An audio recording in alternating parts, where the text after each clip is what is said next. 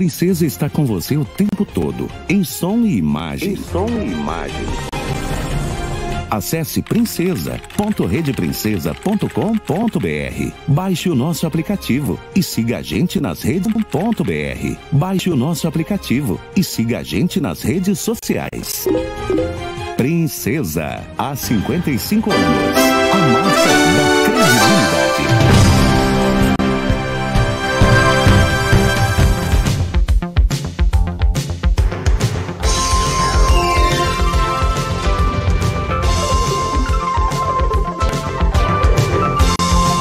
8h31, você esta manhã, muito obrigado aí pela tua audiência e o tempo, né? Olha como é que tá as imagens aqui no centro da cidade nesse momento, né?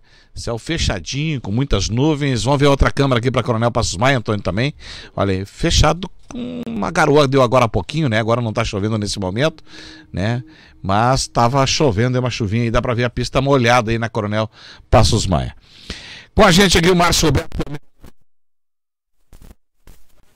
final de semana, o que foi notícia, e você confere agora aqui na Princesa. Márcio, mais uma vez, bom dia para você e para o Mauri. Bom dia, Ivan, bom dia, Mauri, bom dia você que acompanha, nos acompanha pelo Facebook, também pelo rádio. Vamos começar, Ivan, com a Covid-19, o último boletim divulgado pela Prefeitura de Xanxerê. Esses foram os números do sábado, né? É, cento 651 casos ativos aqui na cidade de Xanxerê, 124 casos novos em 24 horas e 11 casos de reinfecção. Então, 120, 135 pessoas se contaminaram em 24 horas, né? 124 casos novos e 11 casos de reinfecção. Então, o número de pessoas que não haviam se contaminado nas três primeiras ondas, né? Estamos na quarta onda, agora está aumentando significativamente aí com a Omicron. Felizmente, né, segundo dados aí da Secretaria de Saúde, a vacinação está fazendo com que as pessoas não eh, estejam indo para UTIs e hospitais. É, 13.242 casos confirmados desde o início da pandemia, 12.414 recuperados, 76 recuperados no dia é, de sexta para sábado, 188 óbitos nós tivemos nas últimas, é, desde o início da pandemia aqui na cidade de Xanxerê. Três internações, né? Uh, na enfermaria um em Ponte Serrada, dois em Chapecó. Ninguém internado em UTIs aqui da cidade de Xanxerê. A bandeira é azul, né? E em relação à vacinação, a primeira dose, 38.481 pessoas receberam. A segunda dose, ou dose única, 36.235. Então, 36.235 pessoas estão com a vacinação completa. E com a dose de reforço, 11.596. Ivan, dá para, e a Mauri, dá para a gente perceber o número de pessoas que não receberam, não foram receber a terceira dose, né? Porque o número de pessoas que receberam a primeira e a segunda é praticamente o mesmo, né? 38 mil a primeira, 36 mil a segunda. Mas a dose de reforço, que são quatro meses depois da segunda, 11.596. Muita gente ainda precisando, né? Precisando receber a terceira dose. É, a diferença da primeira para a segunda, o número é bem pequeno, né? Duas mil pessoas, né, Márcio? Isso. De 38 para 36, né? Nem isso, né? E a, o reforço é o que está faltando, né? É, quatro meses depois da segunda dose, você pode tomar o reforço, então. É mais uma cidade com 55 mil, mil. praticamente, é. né? Tem um número ainda, claro que a gente tirando as crianças aí, uh, mas tem um número significativo de pessoas que não receberam ainda nenhuma dose da vacinação. É, de 38 mil da primeira dose para uma cidade de 53 mil, então faça a conta, 38, 48, dá 10. 14 mil. 14 mil pessoas, então. 14 mil. É um número alto. É alto. É claro, tirando essa faixa etária entre 0 até. Zero até 6 anos, 5 anos. Né? É, até 5 anos. Mas ainda eu acho recebe. que tem bastante gente que não, não tomou a primeira dose ainda. É, mesmo, mesmo adultos, né? É, e três pessoas internadas né, em, em, em, enfermaria, uma em Ponte Serrada, dois em Chapecó. Olha, aquela informação de que nós abri, que Xanxerê abriria leitos de UTI aqui no Hospital Regional São Paulo hoje, a informação dada pelo prefeito de Chapecó, João Rodrigues, até o momento não se confirmou, tá? A, tanto a assessoria de comunicação do Hospital Regional São Paulo como da Prefeitura não se manifestaram ainda em relação a isso. Nós mantivemos contato com a eu com, com a Patrícia Vanzin, que é a assessora de comunicação do Hospital Regional São Paulo, e ela disse ainda na sexta-feira: Bom dia, ainda hoje o hospital deve se manifestar oficialmente sobre esse assunto. Não se manifestou, né? Nas redes sociais e nem também nesse contato com a imprensa aqui no WhatsApp. E a Prefeitura de Xanxerê disse que a informação ela tem que vir do hospital em relação à abertura de UTIs. Ah, ah, não há essa confirmação. Né, o coronel Balsan disse que ainda na segunda-feira, que seria hoje, abrindo os leitos, ainda é 8h30 e alguma coisa da manhã. Não, 36. 36 não tem ainda essa informação, Ivan, sobre a abertura de leitos de UTI aqui na cidade de Xanxerê. A gente espera que sim, né? Até mesmo para desafogar aí Chapecó, enfim, que as pessoas ficam com, uma, com mais tranquilidade em relação a isso. Ivan, para encerrar minha participação, a, o delegado Fernando Calfas ele que é, tem é, representa aí o, o departamento de fronteira, né, segura. Olha só, uh, foram divulgadas operações, 92 mandados judiciais cumpridos, 70 pessoas presas, 21 quilos de drogas apreendidas, 10 armas de fogo apreendidas, 492 munições apreendidas e 277 policiais civis envolvidos. Ressaltar o empenho do Dr. Calfas, é um xanxerense, né, que tem hoje uma importância muito grande na Polícia Civil do Estado de Santa Catarina e divulgando esses dados importantes em relação a essa segurança de fronteira, né, Iva, que nós temos aí Argentina, nós temos o Rio Grande do Sul, Paraná e o trabalho da Polícia Civil Santa Catarina sendo aí é, ressaltado pelo delegado Dr. Fernando Calfas, que é o grande responsável pela organização desse trabalho. Não há dúvida não. Grande competente profissional da segurança pública, né? E mostrando aí, fazendo esse balanço aí, operação de front segura e os resultados estão aí no gráfico que a gente pode ver, né? Esses relevantes serviços aí tirando e cumprindo o que determina a legislação em relação à segurança pública. A Mauri Pereira, vamos lá, os teus destaques aí também, Mauri, final de semana aí também, com muita correria aí também? Bastante, bastante também. Nós, sexta-feira, eh, logo que terminou o programa Bom Dia Cidade, na sexta-feira, com, com você, Ivan, nós tivemos um acidente de trabalho eh, que aconteceu no bairro Taca, num condomínio fechado. E, assim, uma tragédia, né? Uma tragédia com um trabalhador. Eh, o pessoal estava, estava construindo uma, uma residência, uma casa, né? E o caminhão do, do, caminhão de cimento chegou para fazer, a, descarregar, portanto, e aí se, se monta o, o braço do guincho para que as mangueiras então levem então para a caixaria é, descarregar o cimento. Nós recebemos uma informação né, de que um trabalhador, é, o, o João Maria Antunes, morador dos Santos Dias, acabou querendo ajudar, ele estava trabalhando na obra, não trabalhava com a empresa do cimento, que estava levando o cimento para o local. Ele era funcionário da obra, então? Ele era funcionário da obra, Ivan, e ele como uma pessoa assim que queria ajudar, ele foi lá, vamos ajudar, né? Não era obrigação dele, mas ele foi lá. O Antônio vai mostrar as fotos que a gente pode colocar no ar para que o pessoal tenha uma noção. Esse é o, esse é o braço do guincho, né? É do, do guincho que depois embaixo tem a mangueira que ela leva o cimento então para as caixarias, né? Para poder colocar o cimento. E o que que acontece? Desprendeu-se, né? Esse braço desprendeu do caminhão, né? E aí esse, ele estava ajudando, ele estava de costas provavelmente, quando que esse ferro acabou dando na nuca dele com uma violência impressionante. E, infelizmente, com a, a, violência desse impacto na cabeça dele, é, ele caiu, né? Caiu e infelizmente morreu na hora com a pancada violenta na cabeça. Então a família, nossas condolências, me parece que fazia 20 dias que ele estava trabalhando nessa obra como pedreiro e perdeu a vida. Ele foi velado no Santos Dias, na igreja dos Santos Dias, e o sepultamento dele aconteceu sábado de manhã. Nós não conseguimos nenhuma foto dele, tá? Para a gente mostrar e até fazer uma homenagem. E ele deixa esposa, deixa filhos, né?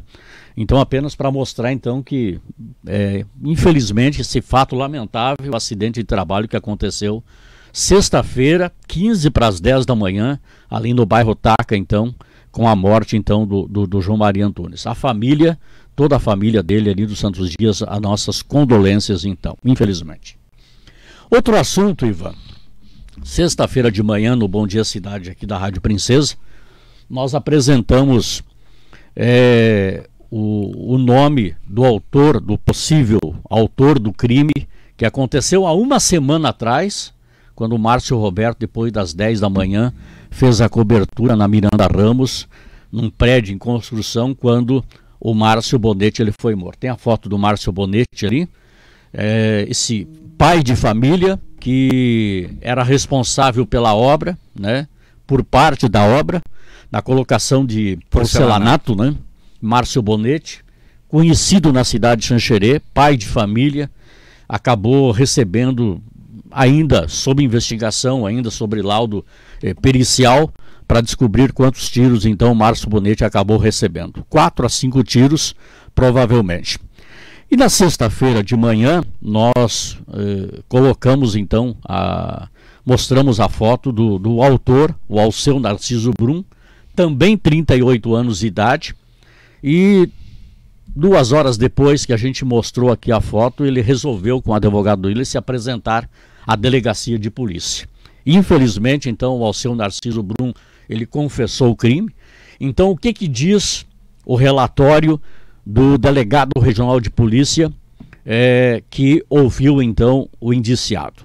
Na manhã de sexta-feira, dia 28, a Polícia Civil de Xanxerê, através da Divisão de Investigação Criminal ADIC, realizou o interrogatório de um homem de 38 anos, morador de Xanxerê, suspeito do crime de homicídio ocorrido na última segunda-feira, 24. Uma semana hoje, então. Tendo como vítima Márcio Bonete, 38 anos.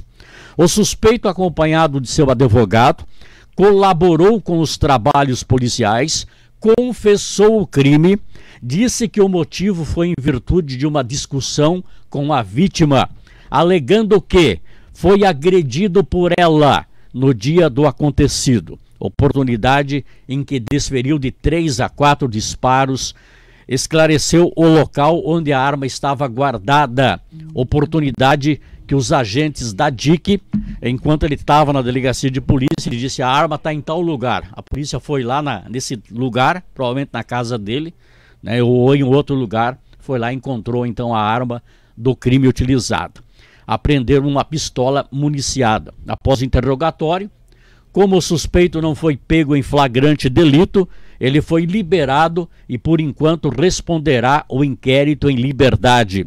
Esclarece o delegado regional de Xanxerê, Dr. Vinícius Burato Yunes, responsável pelo caso.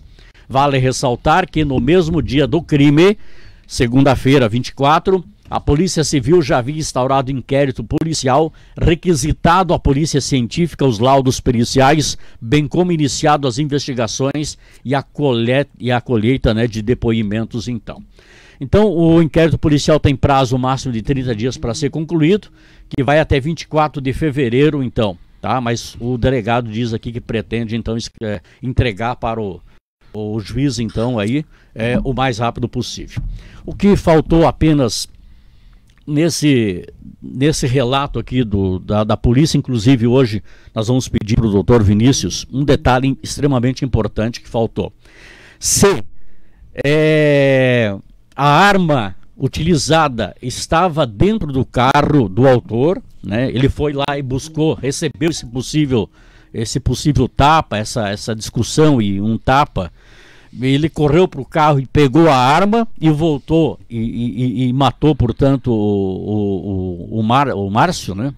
Ou se já no momento da discussão ele, ele entrou para o trabalho já armado de pistola, né? Já armado de pistola. Então esse é o, é o destaque que a gente quer, que é importante até o delegado é, colocar. Porque o... se ele entrou, Amaury, com a arma dentro do. do podia ter a premeditação, premeditação, né? Se ele não andava todo de armado, né? Mas se ele entrou com a arma, já vi, podia ter premeditado, né? De... Verdade. Porque há uma informação de que quem queria a obra da colocação do porcelanato seria esse senhor aí, o Alceu Narciso Brum. E houve o Márcio que foi colocar, houve uma discussão, né? Obviamente que o doutor Vinícius vai apurar melhor isso. Então, se ele estava com a arma no carro e voltou, foi uma ação né, desse, dessa briga que aconteceu anteriormente. Tem a foto da arma, o, o, o, o Antônio. É uma pistola, né? Uma pistola, tá aí, ó. É essa arma que foi apreendida, então, junto com tipo uma porchete, não sei se é essa porchete que guarda o arma, né? E o pente ali, né? Provavelmente era que a arma estava ali dentro. É, né? estava ali Tá- dentro. tá- essa né? tá- Então, a, a polícia civil, é- essa, essa imagem, é, vale salientar que ela é da Polícia Civil, tá? Essa imagem, portanto, da Polícia Civil de Xanxerê, então, tá? Então, assim, é, e é importante, né? Se, o, se, ele, se ele entrou para trabalhar armado, vamos supor que ele chegou no serviço às sete e meia da manhã. O fato aconteceu às 10 e meia, Márcio? 10 horas da manhã. 10 horas da manhã. Então ele trabalhou todo esse período armado, com a arma na cintura, ou após uma calorosa discussão, né, e um possível tapa que ele tenha recebido. Ele foi até no estacionamento na rua, na Miranda Ramos, lá no carro, pegou a arma e voltou, né, para acerto de contas. Então faltou esse detalhe, nós vamos tirar essa dúvida com o doutor Vinícius hoje, até para esclarecimento. Como disse o delegado, agora ele tem 30 dias para concluir o inquérito, mas ele vai fazer isso o mais rápido possível. Ouvir-se testemunhas no local, né? É, e para poder entregar então aí esse lembrando então não tem flagrante né porque se apresentou depois né com advogado mas vale salientar também como foi o caso da moça do, do, do Vila do Vila César de que quando o cara se apresentou em Chapecó não quis se apresentar em Xanxerê achando que fugiria do, do flagrante aliás fugiria da prisão me apresento com o advogado presto depoimento e vou para casa. Vale salientar também né que tudo pode acontecer.